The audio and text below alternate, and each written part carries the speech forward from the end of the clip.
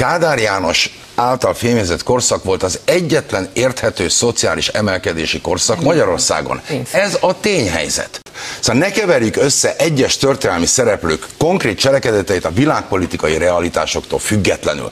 Mert én most nem akarok bántani senkit, de hogyha most azt mondjuk, hogy Szent Istvánról hogy lehet elnevezni bármit is ebben az országban, nála véresebb kezű uralkodója nem volt a magyar történelemnek.